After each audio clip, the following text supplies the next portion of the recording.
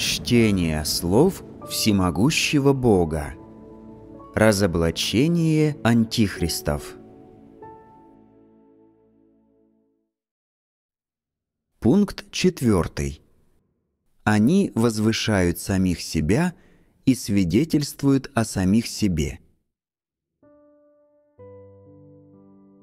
Четвертое проявление антихристов – самовозвышение и свидетельствование о самих себе представляет собой последовательный подход.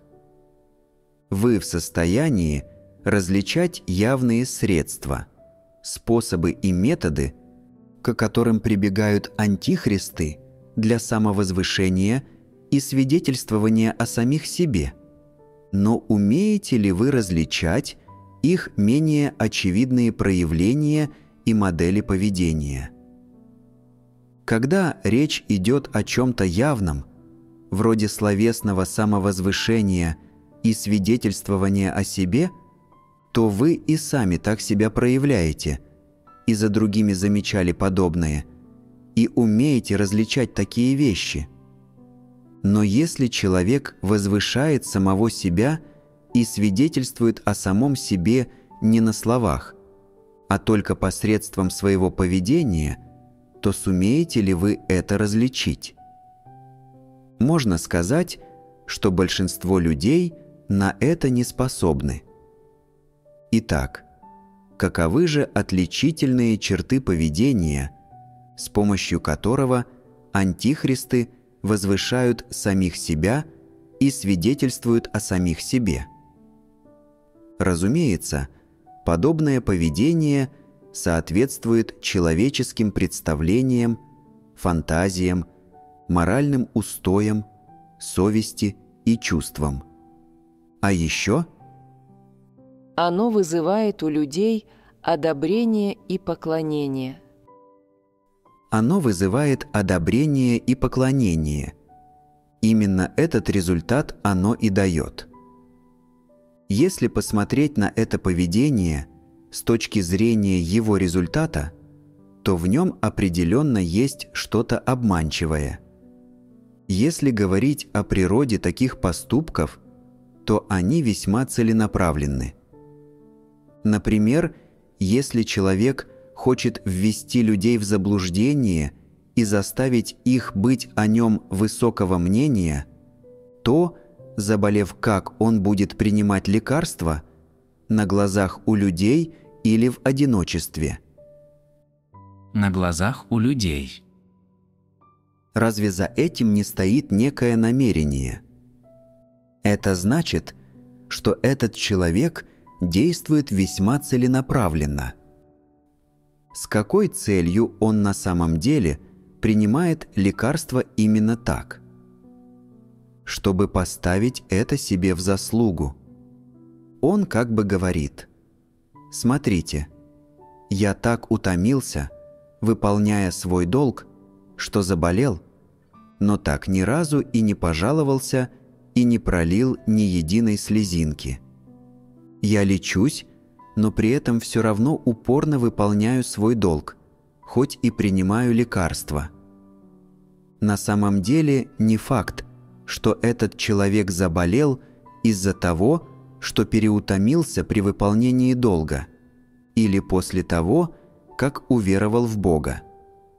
Он просто всячески пытается своим поведением донести до людей тот посыл, что он терпит страдания и идет на жертвы, что у него есть воля переносить страдания и что он столько выстрадал в таких условиях, но ни разу не пожаловался и все равно так активно выполняет свой долг. О чем такое поведение подспудно говорит людям? О том, что преданность этого человека Богу несомненна. Он хочет показать свою преданность и готовность идти на жертвы. Разве это не своего рода завуалированное самовозвышение – разумный человек не стал бы так себя вести, а молился бы Богу в одиночестве, говоря Ему о своей решимости и пытаясь познать себя, или же просто нормально принимал бы лекарства. Словом, он не стал бы своими показными поступками демонстрировать людям, что он страдает, преданно выполняет свои обязанности и заслуживает награды. У него бы не было таких намерений. Но если человек ведет себя так демонстративно, желая, чтобы люди были о нем высокого мнения и хвалили его, то он поступает весьма целенаправленно. А какова же его цель? Через этот посыл он хочет возвысить самого себя и засвидетельствовать о самом себе другим людям. Вот какого результата он добивается. Если человек предан, то Бог и так об этом знает.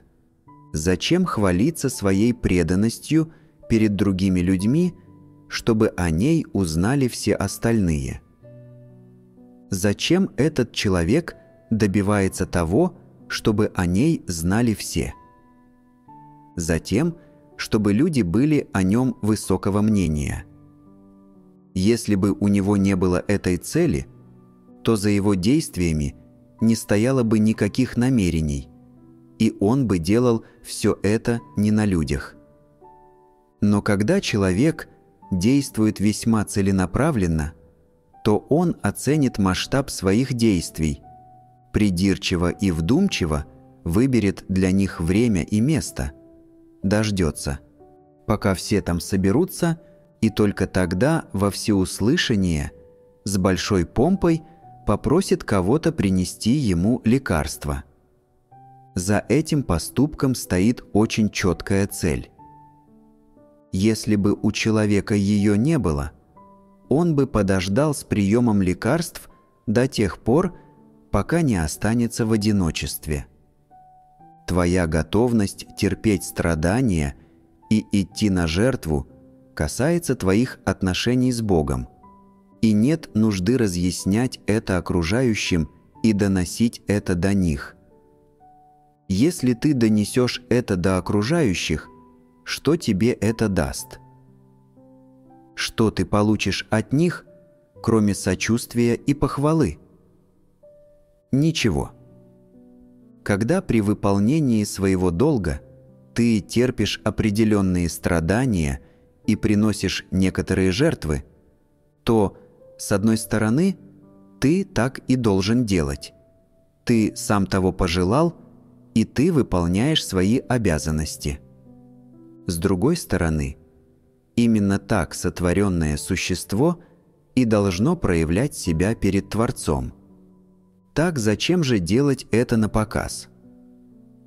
Когда ты так поступаешь, твое поведение становится омерзительным. Во что оно превращается по своей природе? В самовозвышение, свидетельствование о самом себе и введение других людей в заблуждение. Природа его меняется. Например, Некоторые постоянно чешут голову при всех. А если спросить у них, что случилось, они ответят «Я уже больше десяти дней не мыл голову. У меня сплошной чередой идут встречи с получателями Евангелия. На днях я попытался выкроить время, чтобы помыть голову, но тут с расспросами пришел получатель Евангелия – и я не смог его бросить. На самом деле этот человек намеренно не моет голову, чтобы создать у людей впечатление, будто он очень занят своими обязанностями. Это называется выставлять себя на показ. Зачем он выставляет себя на показ? Чтобы люди были о нем высокого мнения – по своей природе такое поведение – это самовозвышение и свидетельствование о самом себе. Человек даже о такой мелочи не может промолчать, а раздувает вокруг нее шумиху и превращает свою немытую голову в некий ценный ресурс, которым щеголяет и который использует для удовлетворения своих амбиций и желаний и для достижения своей цели – заставить людей быть о нем высокого мнения и поклоняться ему. Разве это не постыдно? Это постыдно и омерзительно. Откуда все это берется? От сатанинского развращенного характера, которому свойственны притворство, лживость, нечестивость и амбициозность. Такой человек постоянно думает о своем имидже, статусе и репутации. Он не способен просто промолчать, а постоянно придумывает, как бы ему из любой мелочи сделать капитал, ресурс, с помощью которого можно было бы заставить других быть о нем высокого мнения и поклоняться ему. А когда он в конце концов добивается своей цели, то делает вид, что ему все равно. Так он тоже в каком-то смысле пускает пыль в глаза, ведь на самом деле в душе он тайно ликует и доволен собой. Разве это не еще омерзительнее? У человека уже явно очень высокий статус. Все его уважают и слушаются, равняются на него и следуют за ним – но он все равно делает вид, что его статус ему не по душе. Это еще лицемернее. В конце концов, он вводит всех в заблуждение. И люди говорят, что он родился без амбиций и что он человек дела.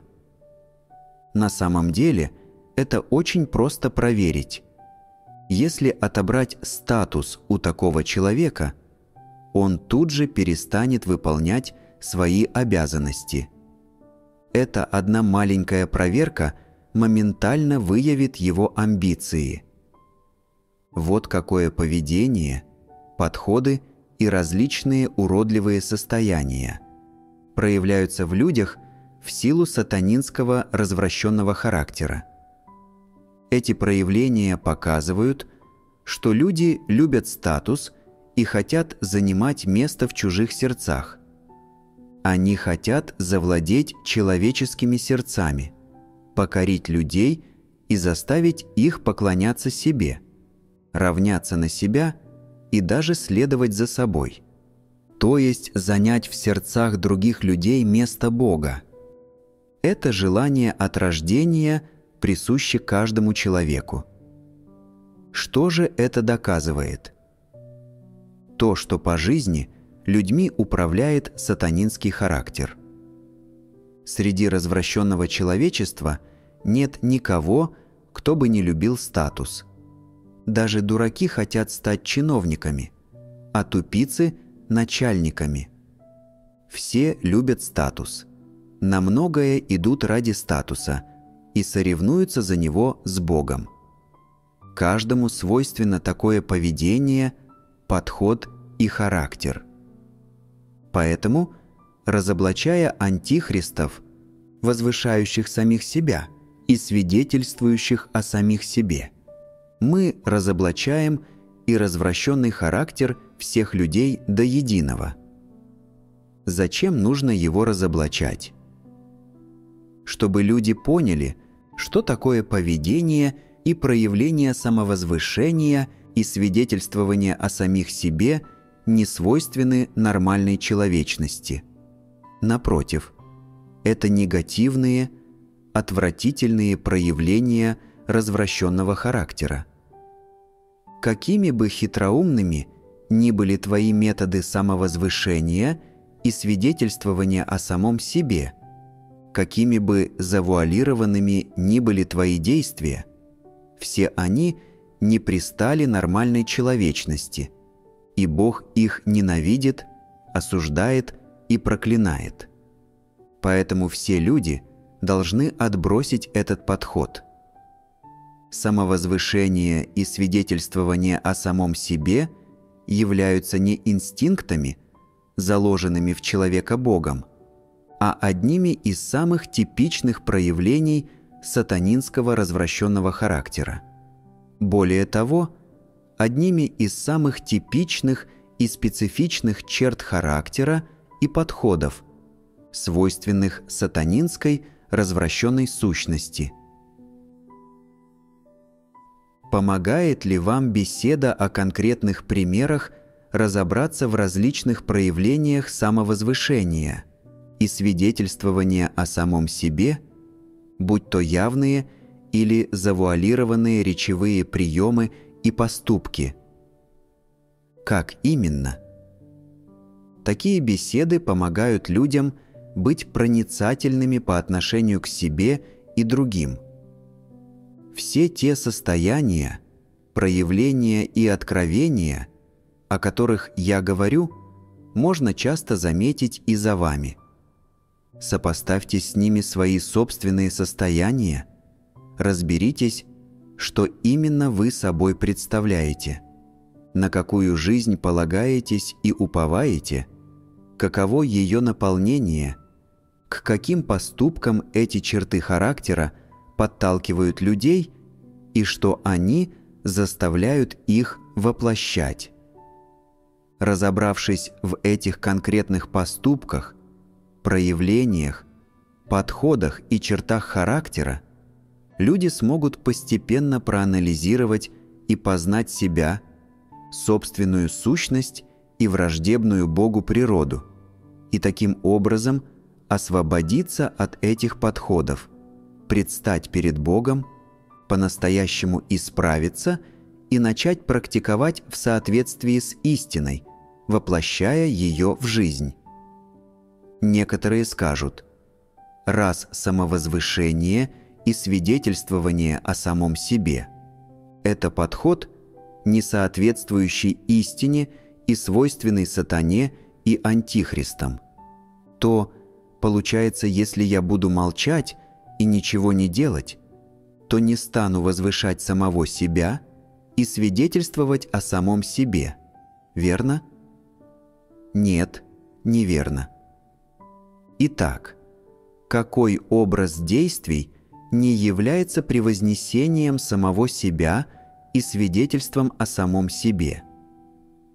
Если ты выставляешься на показ и свидетельствуешь о себе в каком-то вопросе, результатом будет то, что ты заставишь некоторых людей высоко тебя ценить и поклоняться тебе. Но если ты поведешь себя открыто и поделишься своим самопознанием – в этом же самом вопросе, то природа этого будет иной. Разве не так? Вести себя открыто и говорить о своем самопознании – это то, чем должна обладать нормальная человечность. Это нечто позитивное.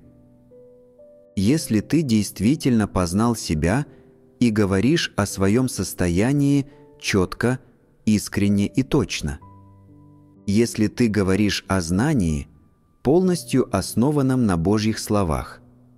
Если слушающие тебя получают из этого назидание и пользу.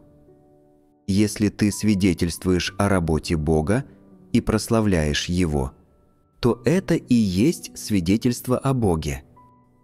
Если же, открываясь, ты много говоришь о своих достоинствах, о том, как ты страдал и шел на жертвы, и как ты оставался твердым в своем свидетельстве. И в результате люди начинают высоко ценить тебя и поклоняться тебе, то это свидетельство о самом себе. Тебе необходимо умение различать эти два вида поведения. Например, рассказывая о том, как ты был слаб и негативен – столкнувшись с испытаниями, и как после молитвы и поиска истины ты, наконец, понял Божье намерение, обрел веру и устоял в своем свидетельстве. Ты возвеличиваешь Бога и свидетельствуешь о Нем. Это никоим образом не значит выставляться на показ и свидетельствовать о самом себе. Поэтому то, выставляешься ли ты на показ и свидетельствуешь ли о самом себе или нет, зависит главным образом от того, говоришь ли ты о своем реальном опыте и достигаешь ли результата свидетельства о Боге. Необходимо также посмотреть, с какими намерениями и целями ты говоришь, свидетельствуя об опыте. Это позволяет с легкостью распознать, какое поведение ты демонстрируешь. Если ты свидетельствуешь с правильными намерениями, тогда даже если люди высоко ценят и поклоняются тебе, это не такая уж проблема. Если же твои намерения неправильны, тогда, даже если никто тебя не ценит и не поклоняется тебе, это уже проблема. А если уж другие высоко тебя ценят и поклоняются тебе, тогда эта проблема еще большая. Поэтому определяя, возвеличивает ли себя человек и свидетельствует ли он о самом себе, нельзя смотреть только на результаты. Смотреть нужно в первую очередь на его намерение. Правильный способ различать – эти два вида поведения основан на намерениях. Если пытаться различать их, исходя просто из результатов, то есть большая вероятность, что ты ложно обвинишь хорошего человека. Некоторые люди делятся особенно искренним свидетельством, и потому другие высоко ценят их и поклоняются им. Можешь ли ты сказать, что эти люди свидетельствуют о самих себе? Нет, не можешь. С этими людьми нет никаких проблем. Свидетельство, которым они делятся, и долг, который они исполняют, приносят другим пользу. И только глупые и невежественные люди с искаженным пониманием поклоняются другим людям – ключ к распознанию того, возвеличивает ли себя человек и свидетельствует ли он о самом себе, это посмотреть на намерение говорящего. Если твое намерение состоит в том, чтобы показать всем, как была раскрыта твоя развращенность и как ты изменился, и чтобы всем могла быть от этого польза, тогда – твои слова искренни, истинны и соответствуют фактам. Такие намерения правильны, и ты не выставляешься на показ и не свидетельствуешь о самом себе. Если твое намерение состоит в том, чтобы показать всем, что у тебя есть реальный опыт, что ты изменился и обладаешь истинной реальностью – чтобы они высоко тебя ценили и поклонялись тебе, тогда такие намерения неверны. Делать так значит выставляться на показ и свидетельствовать о самом себе. Если то свидетельство об опыте, о котором ты говоришь, является ложью, к нему что-то примешано, и его цель – одурачить людей не дать им увидеть твое истинное состояние, скрыть от других твои намерения, развращенность, слабость или негативность, тогда подобные слова лживы и вводят в заблуждение. Это ложное свидетельство. Это попытка обхитрить Бога и посрамление Его, и то, что Богу больше всего ненавистно. Между двумя этими состояниями есть очевидные различия, и распознать их можно, исходя из стоящих за ними намерений.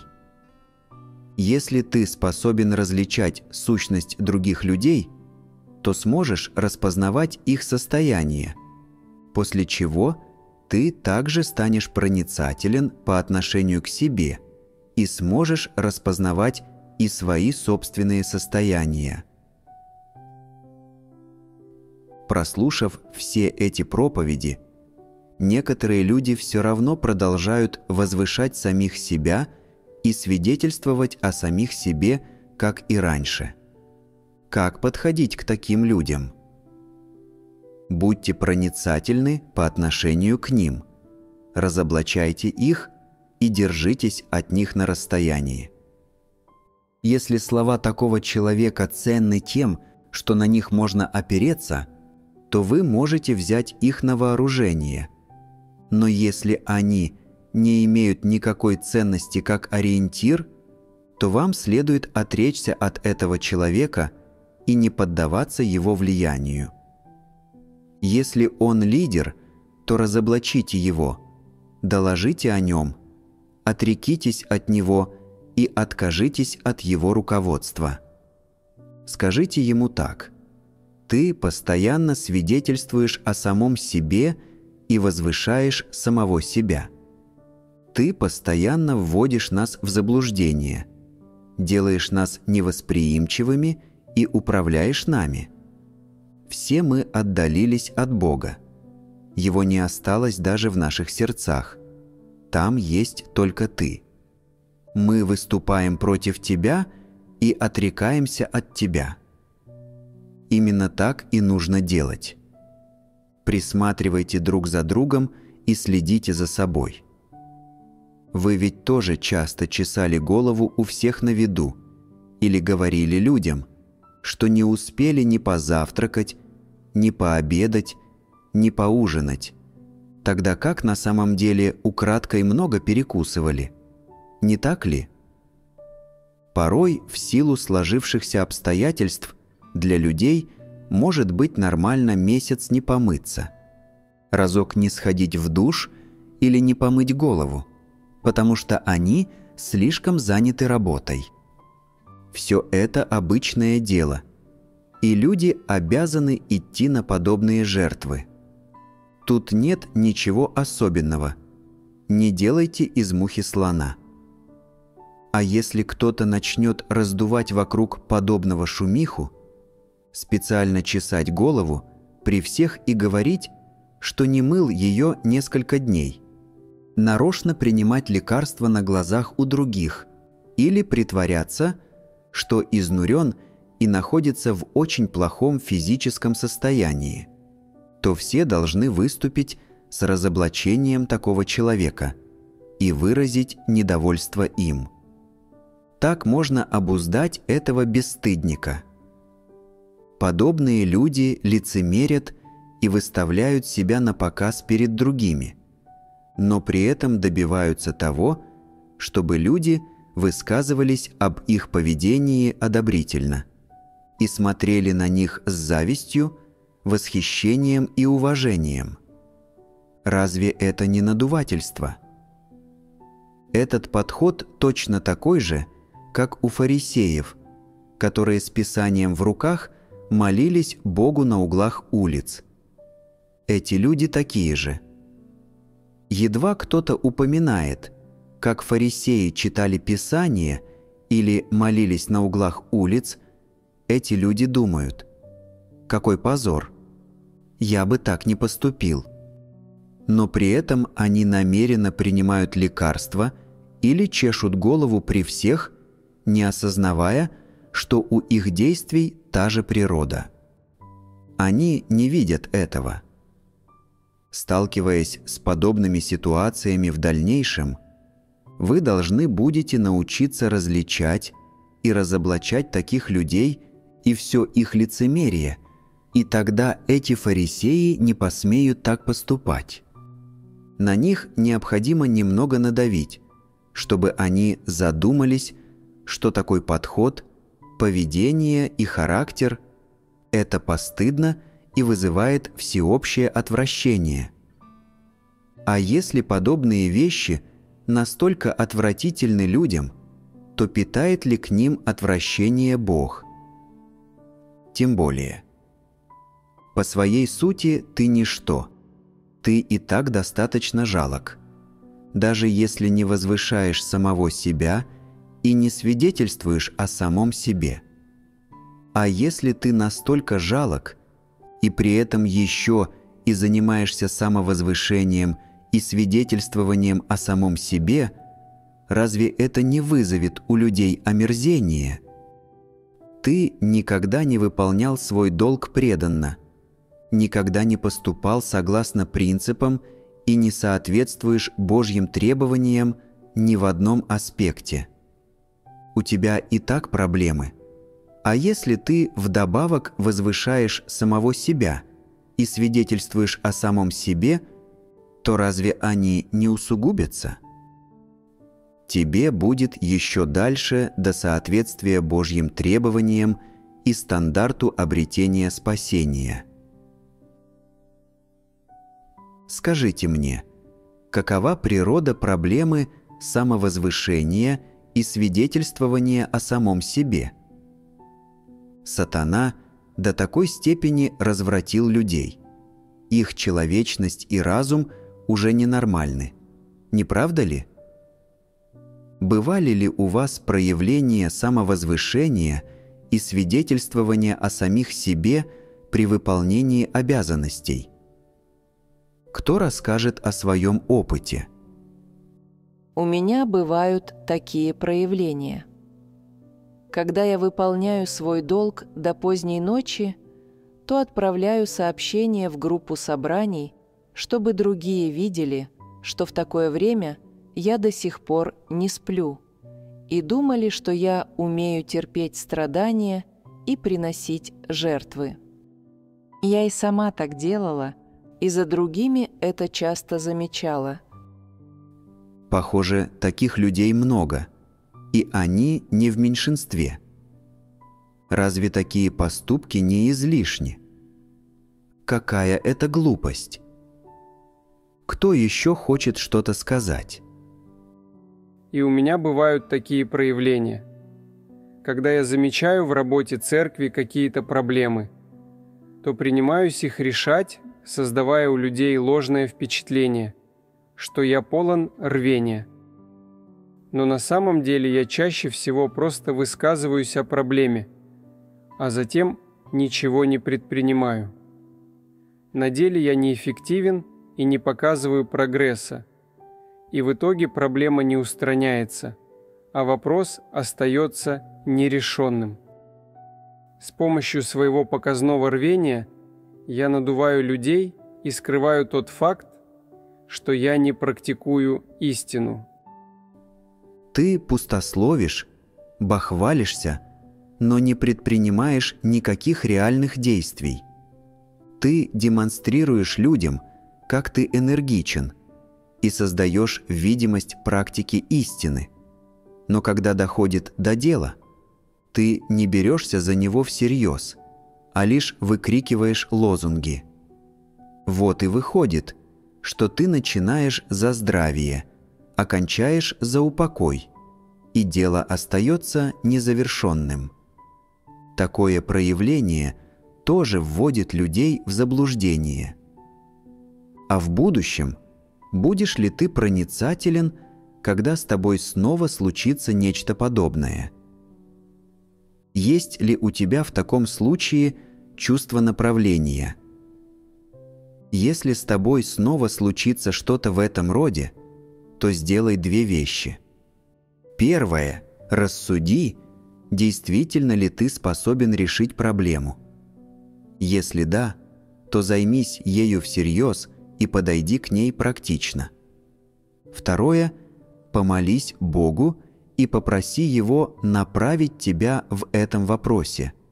А когда возьмешься за дело – также принимай надзор всех братьев и сестер. И в то же время будь полон решимости сотрудничать и работать над выполнением этой задачи вместе со всеми. Если ты приучишься действовать последовательно и быть здравомыслящим в работе, то решишь проблему. Если же ты совершенно лишен здравомыслия, постоянно пустословишь, бахвалишься и фанфаронишь, занимаешься делом только формально и для виду, то ты жулик. Раз ты способен заметить проблему в церковной работе и предложить, как с ней справиться, то, значит, ты можешь обладать потенциалом и рабочими навыками, необходимыми для решения этого вопроса. Единственная проблема – это твой характер. Ты действуешь импульсивно, не желаешь идти на жертвы и только и делаешь, что выкрикиваешь пустые лозунги. Обнаружив проблему, сначала оцени, в силах ли ты ее решить. Если да, то возьмись за дело и доведи его до конца. Реши проблему, выполни свою повинность и дай отчет перед Богом. Вот это и значит выполнять свои обязанности, действуя и ведя себя здравомысляще. Если же ты не в силах решить проблему, то сообщи о ней лидеру и подумай, кому лучше всего поручить решение этого вопроса. В первую очередь ты должен выполнить свою повинность. Так ты не отступишь от своего долга и займешь правильную позицию. Если ты не сможешь сам решить обнаруженную проблему, но сообщишь о ней лидеру, значит, ты выполнишь свою первую повинность. Если же ты чувствуешь, что должен выполнить этот долг и справишься с задачей, то обратись за помощью к братьям и сестрам. Сначала побеседуйте о принципах и составьте план действий, а затем выполните задачу, слаженно работая вместе. Это твоя вторая повинность. Если ты сможешь взять на себя обе эти повинности, то хорошо выполнишь свои обязанности и будешь достоин называться сотворенным существом. Обязанность человека – выполнять эти две повинности, не более того. Если ты берешь на себя решение обнаруженных проблем, когда это в твоих силах, и хорошо выполняешь свои обязанности, то ты соответствуешь Божьим намерениям. Есть ли у самовозвышения и свидетельствования о самом себе еще какие-то проявления?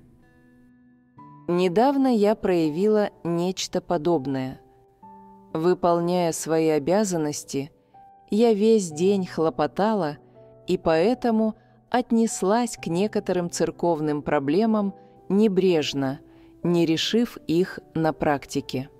Однако некоторые люди видели, как я изо дня в день хлопочу, выполняя свой долг, и были обо мне высокого мнения и восхищались мной. В таком поведении тоже есть что-то от самовозвышения и свидетельствования о самом себе, верно? Я не могу как следует разобраться в этом вопросе и постоянно чувствую себя немного скованной. Является ли это свидетельствованием о самом себе? Если ты занят выполнением своих обязанностей и способен терпеть страдания без нареканий, а Божьи избранные о тебе высокого мнения и восхищаются тобой, это нормально. И дело тут не в том, что ты свидетельствуешь о самом себе – ты просто занят своими обязанностями. Ты не выставляешь себя на показ, не рисуешься и не разглагольствуешь о пережитых страданиях, так что тут нет свидетельствования о самом себе. Но многие люди выполняют свои обязанности так, что с виду вроде бы и заняты хлопотами, а на самом деле не решают никаких проблем – и их работа приносит нулевой результат. Одобряет ли Бог таких хлопотунов? Если ты весь день хлопотал и чувствуешь, что измучился и настрадался, но при этом ты был занят простыми проблемами, которые человек, постигший истину и понимающий принципы, мог бы решить за два часа, то разве ты не занимаешь себя непонятно чем – и не хлопочешь безо всякой цели. Одобрит ли Бог человека, который выполняет свои обязанности таким образом. Ты работаешь слишком неэффективно. В этом вопросе нужно искать истину принципы. Иногда у людей работы по горло, и они действительно заняты, это нормально. Однако порой у человека не так много дел, но он все равно над чем-то хлопочет. Почему? Одна из возможных причин заключается в том, что твоя работа спланирована и организована неразумно. Ты должен разобраться в своих ключевых рабочих обязанностях, разумно спланировать и организовать их и начать эффективнее выполнять свой долг.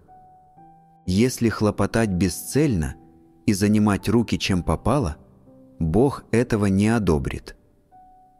Бывает и такое, что ты намереваешься убедить людей в своей занятости, и поэтому пускаешь им пыль в глаза и надуваешь их, хлопача на показ. Некоторые лидеры и работники – на своих собраниях не решают реальных проблем, а лишь бесцельно что-то говорят, постоянно отклоняются от темы и пространно вещают, так и не доходя до сути. Когда человек хлопочет вот так, не стремясь ни к эффективности, ни к прогрессу в работе, это называется «занимать себя непонятно чем». Какое же это отношение к работе? Это формальное, небрежное отношение. Такой человек просто убивает время, но в конце концов все равно думает.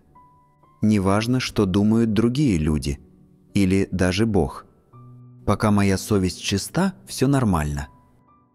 По крайней мере, я не бездельничаю и не ем хлеб даром – с виду может показаться, что ты не бездельничаешь и не ешь хлеб даром, что каждый день ты либо посещаешь собрания, либо выполняешь свой долг, и все, что ты делаешь, связано с церковной работой. Но на самом деле в глубине души ты знаешь, от того, что ты делаешь, нет ни малейшей пользы, оно не имеет никакой ценности – и ты делаешь все это просто для проформы. Это проблема. Так насколько же хорошо ты выполняешь свой долг? Ты прекрасно знаешь, что у тебя проблема, но не ищешь истину для ее решения. Ты проявляешь небрежность, невосприимчивость и косность. К чему приведет небрежность и отлынивание – при выполнении своих обязанностей. Ты точно не обретешь Божьего одобрения, потому что не действуешь принципиально и эффективно, а такое выполнение обязанностей – это просто труд. Если тебя подрежут и помогут тебе, но ты все равно не покаешься, да еще и будешь работать халтурно, с жалобами и негативным настроем – то тебя останется лишь отсеять. Таким образом, если ты не будешь стремиться к истине для решения проблемы своей небрежности, то неважно, как долго ты выполняешь свои обязанности. От этого не будет толку, и ты не сможешь соответствовать стандартам преданного выполнения долга. Над этой проблемой стоит задуматься – Бог требует, чтобы люди поступали согласно принципам, практиковали истину и были честными. Если человек сможет войти в эти истины, то начнет результативно выполнять свои обязанности и, как минимум, сумеет поступать согласно принципам. Это залог повышения личной эффективности и ключ к этому – если человек не обладает истинной принципами, то, как бы он ни хлопотал над своими обязанностями и как бы долго не работал изо дня в день, настоящих результатов он не добьется. когда Бог судит, преданно ли люди выполняют свои обязанности, Он смотрит не на то, долго ли человек ими занимается, а на эффективность его работы, ее практические результаты, и на то, поступает ли человек согласно принципам и в соответствии с истиной. Проще говоря, Бог смотрит на то, способен ли человек, благодаря исполнению своего долга, дать подлинное свидетельство об опыте, и обрел ли он жизнь в хождении. Если человек напрочь лишен истины реальности, то он просто рабочий. Но если он способен практиковать истину и действовать согласно принципам – то это признак того, что он исполняет свои обязанности как Божий человек. Из этого сравнения видно, что людьми Божьими могут считаться только те, кто выполняет свой долг в соответствии со стандартами. Если же человек всегда исполняет его небрежно и не по стандартам, то он рабочий – кто способен постичь истину и научиться поступать согласно принципам, тот сумеет без проблем выполнять любые обязанности. Ему понадобится некоторое время на то, чтобы освоиться, но в конце концов он сможет выполнять свой долг согласно стандартам. Что до тех, кто обладает слишком низким уровнем – или постоянно небрежен в работе, то им будет трудно соответствовать требованиям, а выполнение обязанностей в их случае не более чем труд.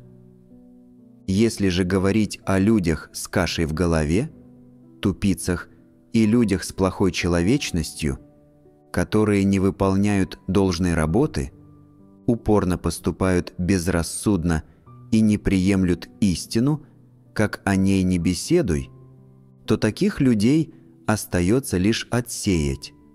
Пусть верят в Бога, как хотят. Итак, если человек при выполнении своего долга не действует согласно принципам, а лишь бесцельно хлопочет и изо дня в день занимает себя непонятно чем, то он должен поскорее искать истину, чтобы решить эту проблему и начать поступать принципиально. Он должен быть в состоянии нормально выполнять свой долг каждый день, ставя в приоритет эффективность труда и получение готового результата, а не просто довольствоваться тем, что потратил на работу много времени. Только тогда он получит Божье одобрение и станет преданно выполнять свой долг. В наши дни много людей следуют за Богом и выполняют свой долг, но часть из них никогда не стремилась к истине. А при выполнении обязанностей такие люди всегда поступают безрассудно и по своему хотению, делая что заблагорассудится. Они не допускают крупных ошибок, но постоянно совершают мелкие. В частности, изо дня в день они изображают загруженность, а на самом деле не занимаются ничем стоящим и просто бездельничают. Еще можно сказать, что они выполняют свою работу лишь ради того, чтобы свести концы с концами. Разве такие люди не в опасности? Если человек постоянно так непочтительно относится к своим обязанностям и к Божьему поручению, то какие у этого будут последствия? Если за неэффективную работу его отстранят от обязанностей, то он еще легко отделается. Если же человек будет совершать различные злые дела, то его придется вычистить, а Бог отдаст такого человека сатане. Что значит быть отданным сатане? То, что Бог больше не будет присматривать за этим человеком и не спасет его, а человек ступит на ложный путь и в дальнейшем будет наказан. Ты ведь это понимаешь, не так ли? Сейчас пришло время, когда Бог раскрывает сущность людей, и если ты временно не следуешь верным путем, то Бог с помощью практической обстановки даст тебе возможность осознать свои проблемы. Однако если ты поймешь, что Бог дает тебе время на размышление и предоставляет последнюю возможность, но все равно не одумаешься, а упорно продолжишь выполнять свой долг небрежно, то Бог примет меры. Когда Бог решил разрушить город Ниневию, сразу ли Он ее уничтожил? Нет. Какие меры Бог принял в первую очередь? Сначала Он предупредил Иону, четко объяснив, как все это произойдет и каковы Божьи намерения. После этого Иона отправился в Ниневию и обошел весь город, объявляя «Еще сорок дней, и Ниневия будет разрушена». Эта весть достигла ушей всех. Ее услышали мужчины и женщины, молодые и старые, люди из всех слоев общества – об этом узнали в каждом доме. Эту новость услышал даже царь Ниневии. Почему Бог так поступил? Этот случай показывает, независимо от того, спасает ли он людей, раскрывает ли их сущность или наказывает их, он всегда поступает с людьми принципиально, согласно определенным процедурам – он ничего не делает по внезапной прихоти и никогда не уничтожает людей, едва решив, что они ему не нравятся. Вместо этого он некоторое время выжидает. Зачем он выжидает? В случае с Ниневией он так поступил, чтобы жители города узнали, что он собирается сделать, и смогли поразмыслить мало-помалу осознать его намерения и постепенно одуматься. Такое осознание представляет собой целый процесс. А 40 дней – это время, которое Бог дал людям, чтобы они смогли одуматься. Если бы по истечении 40 дней ниневитяне все равно бы не одумались и не признали свои грехи перед Богом – то он сделал бы так, как сказал, ибо он подразумевает то, что он говорит, и то, что он говорит, будет исполнено. В его словах нет ни капли лжи. Как же ниневитяне отреагировали на эту новость? Разве они тут же оделись во вретища и посыпали себя пеплом? Нет, они пришли к этому постепенно – Поначалу они, возможно, сомневались. «Бог собирается нас уничтожить? Неужели Он действительно так сказал? Да что мы сделали-то?» Затем люди из каждого дома сообщили друг другу о новостях и вместе их обсудили. Они почувствовали, что наступила кризисная ситуация, и они находятся на распутье – между жизнью и смертью.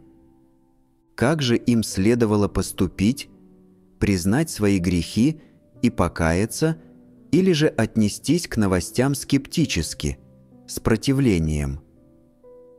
Если бы ниневитяне в самом деле выбрали второе, то в результате были бы уничтожены через 40 дней. Но если бы они признали свои грехи и одумались, то у них еще оставался бы шанс выжить. Они много дней обсуждали этот вопрос на всех уровнях общества, и в конце концов крохотная горстка горожан смогла выбрать покаянное отношение и одуматься. Они сумели благоговейно склониться, принести жертвы или продемонстрировать какие-то хорошие поступки и проявления. Но ключевую роль в спасении этого города сыграл один человек. Кто это был? Царь Ниневии. Он распорядился, чтобы все в стране, от него самого и до простолюдинов низкого рода, оделись во вретища, посыпали себя пеплом, признали свои грехи и покаялись перед Богом и Иеговой.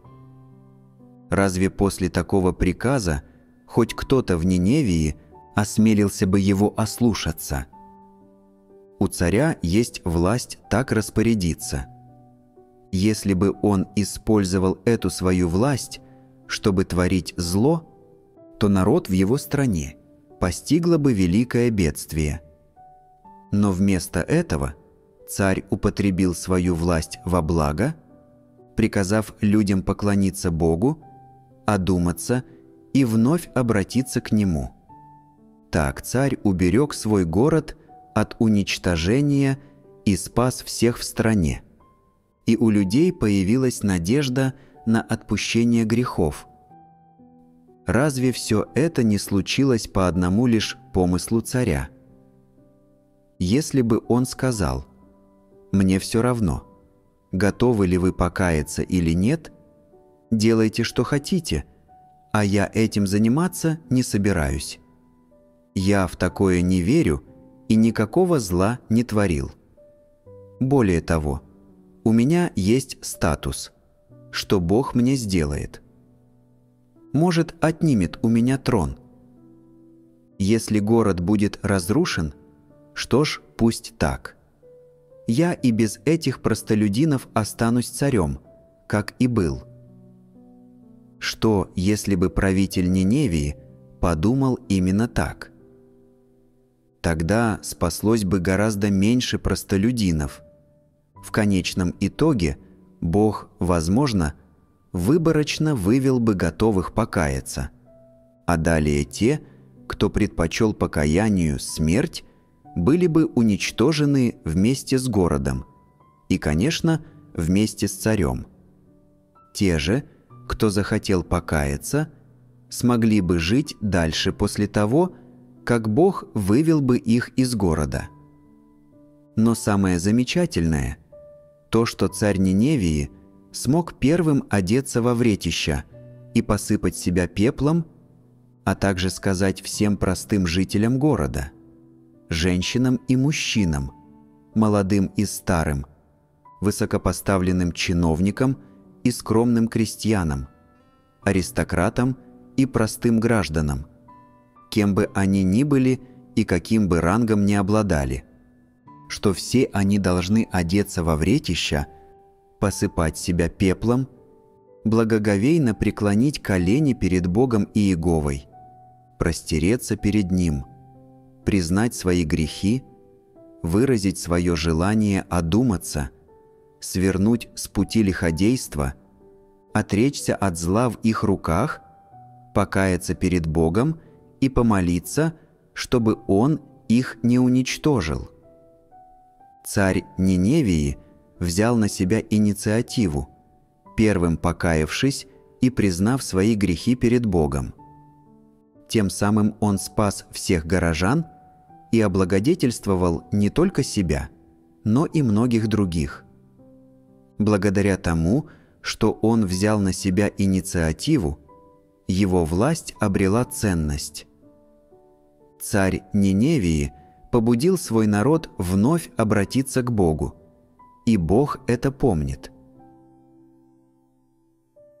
Полезны ли для вас такие подробные беседы о том, как антихристы возвышают самих себя и свидетельствуют о самих себе? Я вновь и вновь об этом беседую, привожу примеры, рассказываю истории, описываю и определяю – проблему различными средствами и терминами. Если люди все равно ничего не уяснили, значит они и в самом деле не обладают духовным пониманием, а такие люди неисправимы. Зачем же нужны столь подробные беседы? Затем, чтобы, услышав мои слова, люди поняли и приняли не их буквальный смысл, не доктрины и не какие-то изречения, а, напротив, истину о том, какова реальность и определенные истины и принципы, касающиеся человеческой сущности, бытия и жизни. Если вы способны сопоставить изречения и примеры из моих бесед со своим реальным состоянием и жизненными проявлениями, то вы можете постичь истину и обладаете духовным пониманием. Сравнивать их значит связывать каждый обсуждаемый пример и вопрос с твоим состоянием и связывать каждый аспект истины, о котором рассказывается, с твоим состоянием и твоими собственными откровениями. Если ты знаешь, как связать эти вещи воедино и применить это, то у тебя есть духовное понимание – и надежда войти в истину реальность, и ты в силах постичь истину. Если же ты не понимаешь ничего из сказанного и не можешь соотнести это с собой, если тебе кажется, что все услышанное никак не касается твоих собственных проявлений и природы сущности, если ты не видишь между ними связи, то ты полный невежа и ничего не можешь взять в толк. Тебе не хватает духовного понимания. Люди, не обладающие духовным пониманием, годятся лишь для того, чтобы трудиться, и не способны войти в истину реальность. Кто хочет обрести спасение, тот должен войти в истину реальность, а для этого нужно понять мои слова – а также истории и обстоятельства, о которых я говорил, и разобраться во всех вопросах, типах откровений и сущностях каждого типа людей и их проявлений и состояний, а затем научиться сопоставлять все это с собой. Без всего этого человек не сумеет постичь истину, потому что ее можно понять только так – это как с курами. Если человек полгода держит курицу, а она еще не снесла ни одного яйца, можно ли сказать, что она не несется? Нет. Но если хозяин держит курицу три года, кормит ее зерном и зеленью, а она все равно не несется, чем бы ни питалась, то можно ли сказать, что эта курица не несет яиц. Так и с людьми. Некоторые из них ничего не понимают, какие бы проповеди они ни слушали и как бы с ними не беседовали об истине. Такие люди не обладают духовным пониманием. Есть и другой тип людей. Те, кто понимает услышанное, но не притворяет его в жизнь и не одумывается. Эти люди пропащие, они также обречены быть уничтоженными, как и жители города Содома. Антихристы относятся именно к этой категории людей. Как с ними не беседуй об истине, они не одумаются. В чем тут дело, может просто в непримиримом характере. Их природа-сущность выступает против Бога и враждебна истине, о том, чтобы такой человек понял истину, не может быть и речи.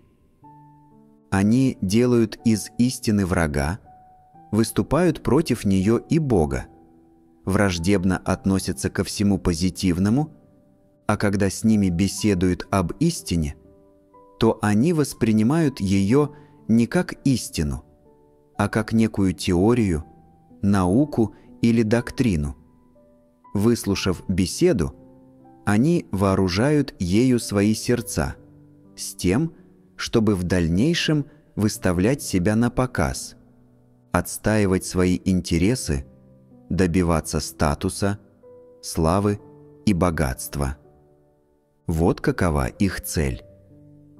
Как с ними не беседуй об истине, какие примеры не приводи, ты не исправишь таких людей и не изменишь ни их намерения, ни образ действий. Эти люди не стремятся к истине. Если человек, услышав истину, не приемлет и не практикует ее, то она его не изменит, а Бог его не спасет. По сути, таких людей можно определить как враждебных истине, а если точнее, то они антихристы. Вот чем антихристы отличаются от обычных людей.